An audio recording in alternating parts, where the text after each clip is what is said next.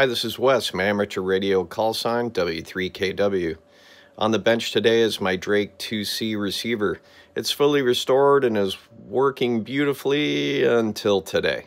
So the receive is dead. However, I do have audio. So that part of the circuit is working, but the RF portion is not. So troubleshooting ahead.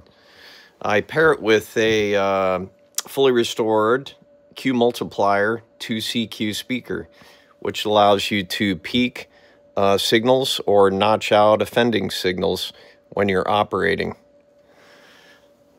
The uh, Drake 2C uh, can be either used standalone or with an external mute signal from the uh, matching transmitter, the Drake 2NT. And there's also a built-in calibrator uh, to help you calibrate this analog scale so you know you're right on frequency. You can just slide the little pointer over once you got it just right. So I'm injecting a signal here uh, on uh, 40 meters at 7.2 megahertz from my HP signal generator at about minus 40 dB directly into the uh, antenna jack on the back of the Drake 2C, and there's absolutely no, no um, RF signal. So this is the fun part about ham radio. I'll just pan through the uh, radio here as I'm talking. But troubleshooting is a lot of fun. And usually a lot of learning takes place uh, when you're uh, working on these old radios. So there's the underside. You can see a lot of the work that I've done. This is not an uncomplex machine.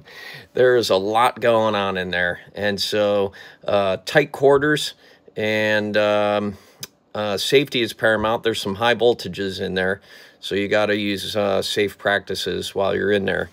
And luckily I have an outstanding manual which shows voltages at test points and a fantastic um, schematic which shows the signal path uh, through the various stages of the radio. It makes for troubleshooting, uh, uh, much easier troubleshooting, and a lot of fun. I'm sure I'm going to learn a ton, and I'll use uh, the, the uh, Boat Anchor Forum at www.qrz.com to uh, enlist help from those familiar or electrical engineers. And it should be a lot of fun. Stick around for more. 73.